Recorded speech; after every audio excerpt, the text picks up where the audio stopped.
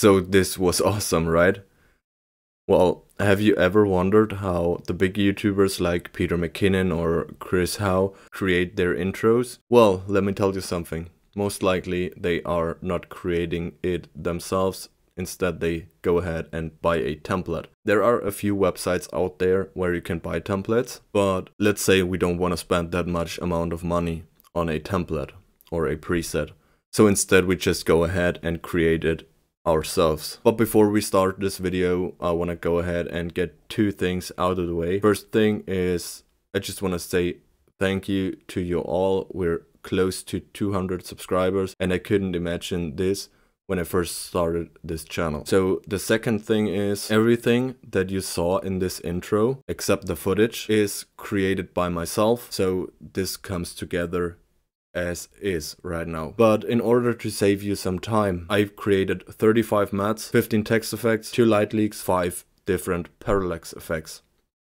So you can go ahead and download them, but not as usual, I won't link them in the description, just because for this one reason, the file sizes are too big for my Google Drive. So what you can do is go ahead and email me. I will send you a custom link to probably WeTransfer where you can download all this stuff for free, but you also have the option to pay. I don't want to beg for money or whatever. If you want to get them for free, you can. But if you want to donate me a cup of coffee or whatever, you can donate from one cent to whatever it is that you want to pay for those templates. So with that being out of the way, let's get into DaVinci Resolve and break down the editing process of this mm-hmm. intro.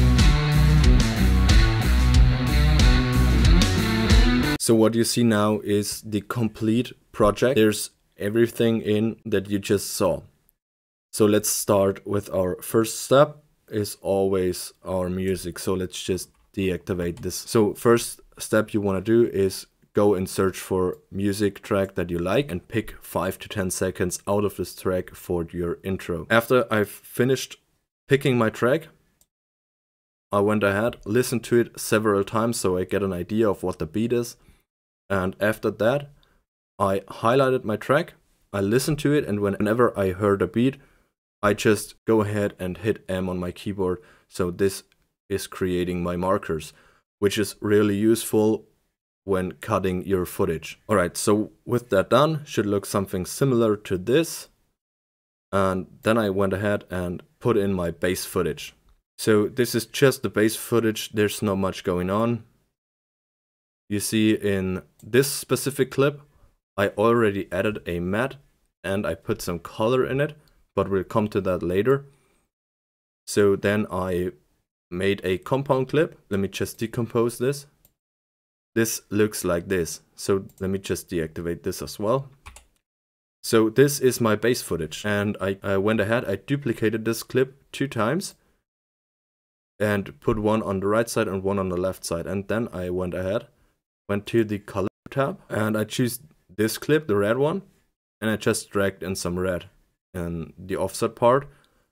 Went ahead to the next one that is on the left and I dragged in some blue to make it visually appealing. So in my base clip, I just went ahead and pulled out all the saturation to make it black and white. So the next clip is just some bottle of whiskey pouring into a glass. And I went ahead, did the same as before. Then went ahead. This is just a snowboarding clip where I dragged out all the saturation. There's our clip from the beginning, which we had right here. I put it in there again, and then I get some winter snowy skiing area. Then another clip. And this one is actually the clip from this guy holding his camera. I cropped in the right side completely, and then I went ahead go into effects library, open effects and add some Gaussian blur in it. So this looks blurry. There's a completely white solid and another time this guy with just some purple offset right here. So the next step is that I've created mattes. And if you don't know how to create mattes, let me show you really quick. Go to effects library, go to effects and drag in a fusion composition. And because an intro is very fast paced editing. Your fusion composition shouldn't be longer than one or two seconds. So let's cut this at two seconds. go to the Fusion page. And in order to create a matte, all you gotta do is drag in a background. And with this background highlighted, drag in another background. So background number one, we go ahead and drag out all the alpha to make this transparent and make background number two complete white. From there on, with background number two selected, now let's add rectangle one and make this the size that you want. Let's say something like this and then create another rectangle, something like this. And then you can go ahead and animate this. Let's say I want to make this move from there down all the way to the right. So I go from frame number zero, mark my center point, and then I go to frame number 10 and drag this down completely. And then I go ahead, go to rectangle one, and let's say I want to make this move from left to right. So I keyframe this at this specific position, go to frame 10, and then go all the way to the right. So what we've created is something like this. Pretty fast, but as I said, making an intro is fast-paced editing. So when you've done that, go to the Deliver tab, and from there on, this is pretty important, otherwise it wouldn't be created as a matte with a with an alpha channel. So go ahead, go to individual clips, then choose QuickTime, which is fine, and then go to codec, and then choose DNxHR. And their resolution, you can leave the resolution as is and check export alpha. And alpha mode pre-multiplied is fine. So now you saw that your in and out points turned yellow, and then you have to drag the in point all the way to your fusion clip that you've just created, right?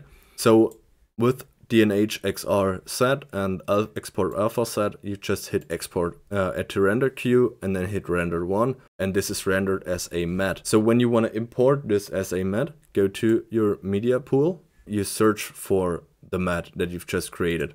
So these are all the mattes that I've created. And let's say we want to import this as a matte. So let's right click the one that we choose and add to media pool as matte. This one is pretty important. To make sure this is imported the right way, you have your clip here and down on the bottom next to this music note is a white rectangle with a black dot in it. This means this is imported as a matte. So let's go back to our edit tab. Let's just activate all of this.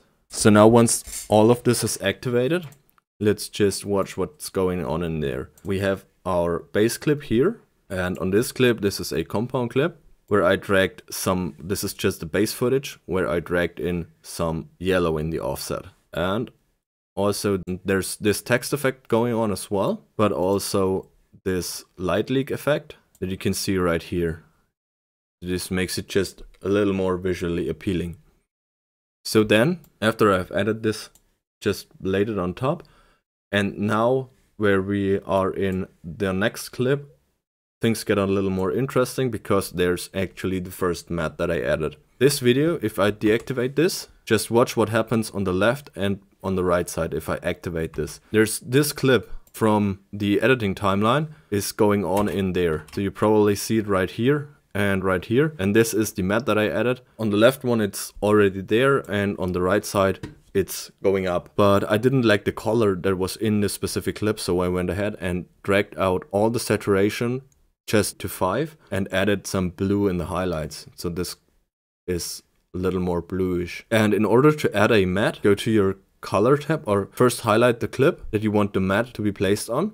Then go to the color tab, then search for the clip once again. And this is my basic clip, right? And this is the matte that I added. What you have to do now is right click, add an alpha output. So this blue dot is created and connect this blue dot to the blue rectangle on your clip. So now, with this done, right click on your clip and add matte, timeline mattes, and there are all your mattes that you imported recently. So, step number one, if this isn't shown, you can just invert it. So it looks something like this and the clip below is in the matte, right? But I want my original clip to be shown. Let's go ahead. There's another thing going on right here. So there's my fusion composition, which is the text effect that is showing behind my matte. If I deactivate this, you can see there's my fusion composition. And what I did is I went to my inspector, composite mode, and hit luminosity and drag down a little bit of the opacity to make it not look like this. So this is this down here is my basic clip and I duplicated this and put it on top. And on top of this clip, I went to the color page. I dragged out all the saturation to make this black and white in my matte. And I also added my matte, which looks something like this. Those triangles are my matte. And what I also did was because this is blurry, I added a Gaussian blur to it to make it a little more fancy, visually appealing or whatever. Let's keep on going. There is my fusion composition with this text effect from the clip before, but there's another fusion composition, which is this text effect, use text effects. If I deactivate this, activate this, and this is just revealing. So then this tutorials comes in, which is basically this clip right here. I duplicated it, dragged it all the way to the left and added a matte, which is my text effects matte like this. This is just a text that I created and exported it as a matte. Now it shows the clip from this guy in the letters of the tutorials. So go ahead and there is the light leak once again and also this text effect which one text comes in from the left and one comes in from the right. So let's go ahead and add some stylized matte to this clip because I decomposed it before the matte is gone. So let's go ahead, go to my color page. This is the clip that I want to add a matte. So I right click, add alpha output. I connect those. And let's say I want to add a matte and I know that I want to add matte 23. So this looks something like this, but now it's only showing the X's and O's, the clip behind it. Let's invert it and it shows my completely clip with the X's and O's in it. But let's say I don't want this matte.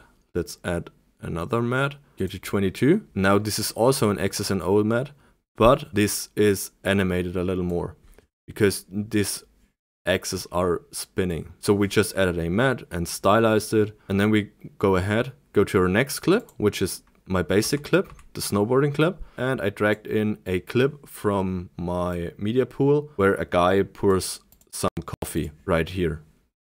So I added this clip on top and to this clip I added a matte. What I also did there is added Gaussian blur as well to make it blurry. So my next step was go ahead, go to my next clip, which is right here.